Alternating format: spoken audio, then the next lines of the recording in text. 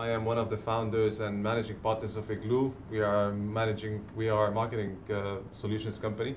And today we just finished a course with uh, Phil Bedford on the different behavioral styles. And I realized that my behavioral style is a go-getter. And uh, sometimes apparently as a go-getter, I tend to have a poker face, which uh, some different people with different behavioral styles tend to take me a lot, a lot more serious and not necessarily feel comfortable uh, working with me. So that's something for me to watch out for. That's one of the takeaways.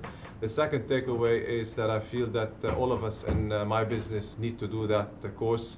And uh, so, so we can learn how to work uh, with each other better and maybe even restructure our company based on our behavioral styles. So um, I really enjoyed it and, um, and I think it's a great course and workshop for every person, whether it is a student, professional, a parent, and so forth. So yeah, great one. Thanks.